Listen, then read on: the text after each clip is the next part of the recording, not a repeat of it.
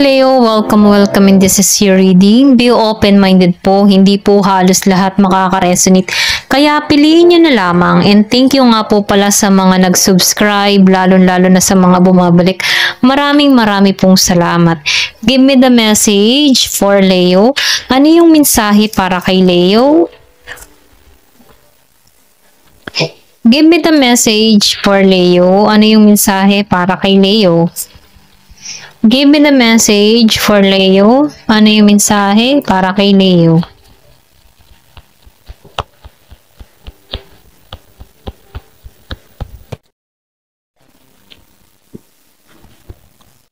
So, meron ditong yes. Okay?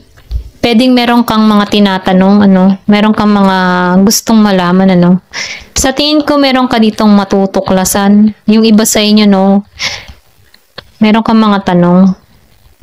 Pwede rin sabihin, nagtatanong ka dito kung magtatagumpay ka pa. Okay?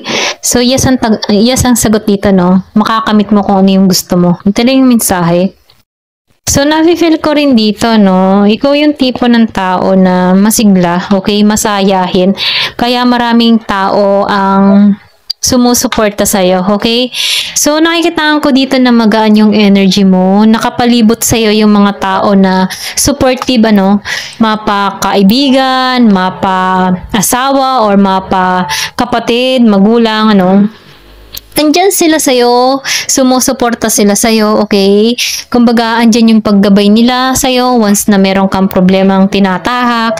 Kumbaga, ah, sila yung nagbibigay ng lakas ng loob sa'yo para ah, huwag sumuko sa hamon ng buhay. Ito yung nafe-feel ko, no?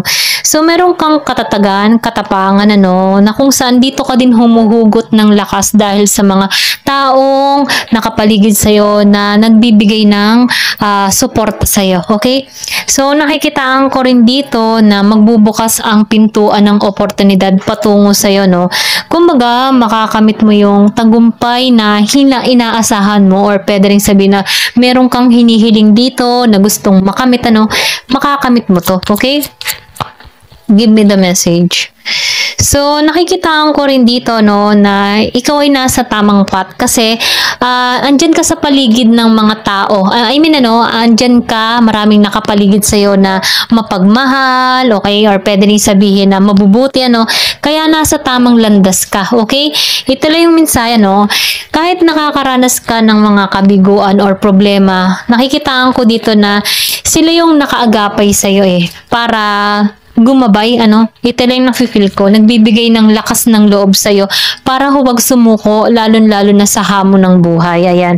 So, meron ka ditong transformation na nagaganap or pwede rin nagaganap na to sa'yo ngayon, ano, yung transformation, meron kang pagbabago na nangyayari or pwede rin sabihin development sa iyong sarili, ano. So, nakikitaan ko dito na ah, tinanggal mo at nilet go mo yung mga bagay na hindi na nakakabuti para sa iyo ano?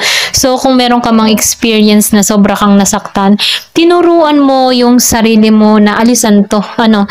Ito lang nafe-feel ko tinuruan mo yung sarili mo na maging malakas, okay? So, nakikitaan ko dito na malaking pagbabago yung parating, okay? Ito lang nafe-feel ko, transformation, or pwede rin sabihin na ito na yung balak mo, yung pagbabago, okay? Give me the message for Leo.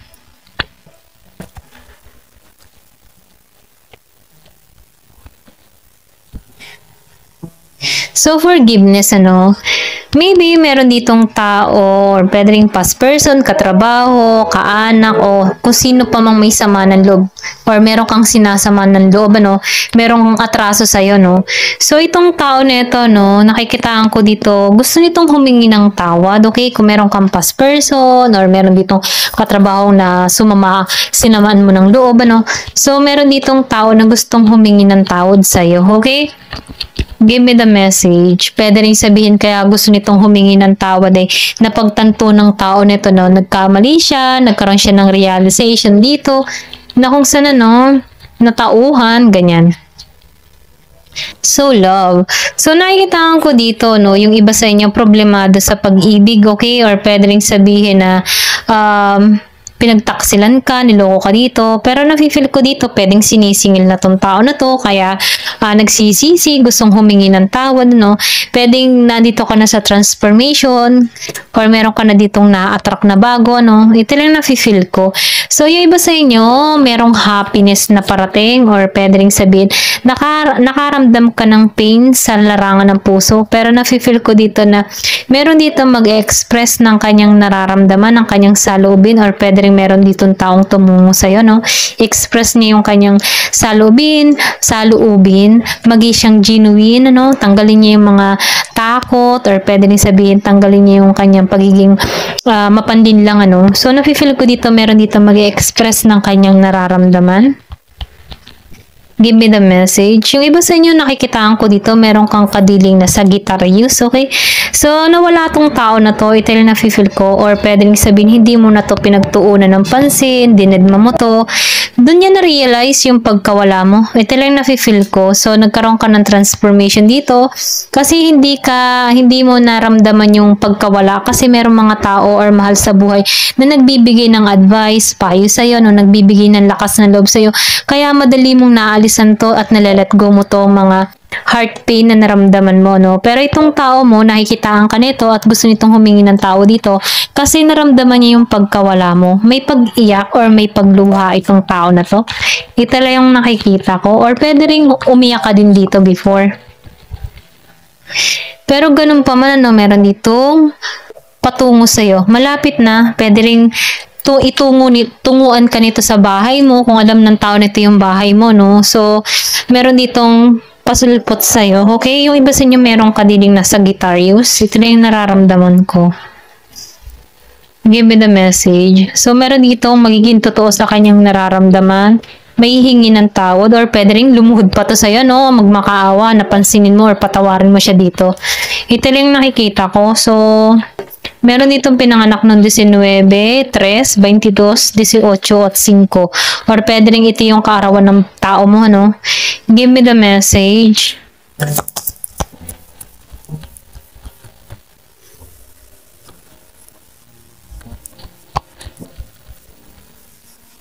So, meron ka dito na the child within.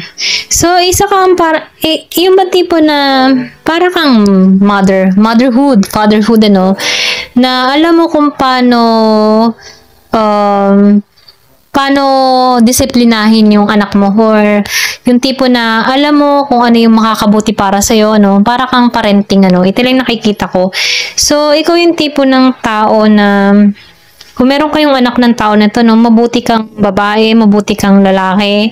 Um, andun yung pagiging mong pure innocence, ano. So, gentle ka sa anak mo, or pwede rin sabihin single mother ka, no. Gentle ka, andun yung pagiging mong caring, ano.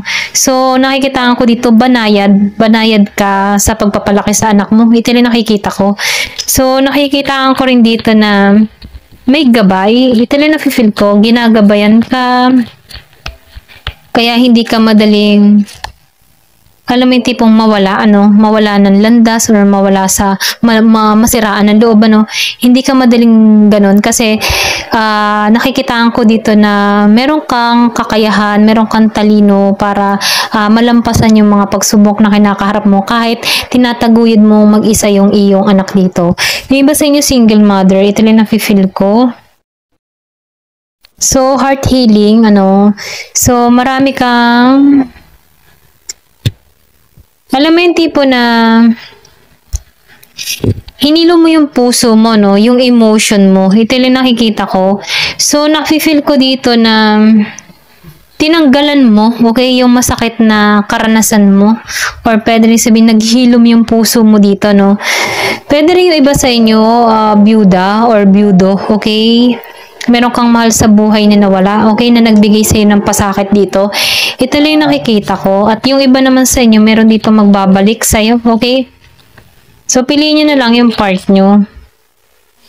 So, nakikita ko dito, no, ikaw yung tipo na great mother. Kasi nakikita ko dito, al lahat lumalabas mother eh. So, ikaw yung tipo ng tao na mapagmahal na magulang, okay? Kumbaga, ano, nagkakaroon ng kapayapaan ng isang tao once na nandyan ka, okay? Or pwede rin sabihin yung yung karakter mo, no, mapagmahal, ito lang nakikita ko. So, nakikita ko rin dito yung pagiging mong um, relihiyoso or relihiyosa, no. Kapag once na meron kang mga kinakaharap na pagsubok dito, uh, itinataas mo sa Diyos. Ito lang na-feel ko. Meron ako nakikita ditong cross, okay? So, nakikita ko rin dito na masyado kang sinubok, ano? Kumaga, marami kang mga pagsubok na naranasan. Pero nafe-feel ko dito, itong pagsubok na nararanasan mo ay may mga dahilan, ano? Pero ganun pa man nakikita ko dito na hinihilom yung puso mo dito, no? Para mapakawalan yung mga masasakit na experience na naranasan mo sa in the past. Ito na yung nakikita ko. So, meron ditong Holy Grail. So, nakikita ko dito, no? Nafe-feel ko ito yung walang hanggang patnubay sa'yo, okay? Ginagabayan ka dito. Ito lang nakikita ko, malakas yung spiritual mo or pwede rin sabihin na ikaw yung tipo ng tao na once na nagdadasal ka, direct okay, taimtim, yung tipong ganun. Taimtim ka magdasal, talagang andun yung presensya ng Holy Spirit sa'yo, no, once na nagpipray ka dito, na kung saan, ano, uh, natatagpuan mo yung mga kasagutan na tinatanong mo, kasi meron ditong, yes, just go for it. So, meron kang mga tanong dito, or meron kang hinihiling dito, no, na sinasabi dito, no, kung ano man yung mga pinaplana mo, pagpatuloy mo, no? Kasi nasa tamang pat ka. So, nafe-feel ko din dito, no, na meron ditong happiness na parating dito. Ito lang nakikita ko. So, nafe-feel ko dito na meron kang hinihiling, meron kang minamanifest dito, okay? So, nafe-feel ko dito yung pag-aapaw ng blessing sa'yo, okay? So, meron ako nakikita dito na spirit guide ng isang usa, okay? Isa, usa at isang eagle. Ito lang nafe-feel ko. So, nafe-feel ko dito na malayo yung mararating mo sa buhay, okay? Meron dito, andun yung passion mo eh, andun yung, uh, yung gusto mong makamit to, ano, and, andun yung ambition mo, no? Maybe meron ka ditong gustong mangyari. Nafe-feel ko dito yung iba sa inyo, magta-travel, okay? So, sinubo ka man dito, no? Pero ma-achieve mo yung mga hinihiling mo dito. Ito lang yung nakikita ko. Give me the message. So, meron dito lineage of the rose. Moved by the goddess, ano. So, nakikitaan ko dito, no, na yung mga ginagawa mo, no, may mga dahilan yan kung bakit naranasan mo yan. May dahilan din yan kung bakit napapalipat ka ng lugar, ano, or napapalipat ka ng panibagong trabaho, ano. Kasi, uh, nakikitaan ko dito na ginagabayan ka, eh, no, or pwede rin sabing ginigising ka once na hindi na maganda yung kinatatayuan mo sa lugar na yun, ano, pinapaalis ka dyan, ano. Ito lang na-feel ko, no, So, nakikitaan ko dito yung movement or pwede rin sabihin na meron ditong travel, pag-relocate sa ibang lugar or paglipat ng ibang bahay, ano. So, nakikitaan ko dito na ginagabayan ka dito para maalisan mo yung mga masasakit mo nang nararanasan. Ayan, ito na yung nakikita ko sa'yo. Ayan, thank you for watching. Love and peace.